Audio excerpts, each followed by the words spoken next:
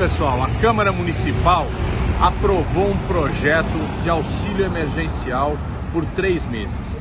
Foi uma proposta do PT em abril, a nossa bancada de vereadores. E nós lutamos durante todo esse período para que esse auxílio emergencial fosse pago.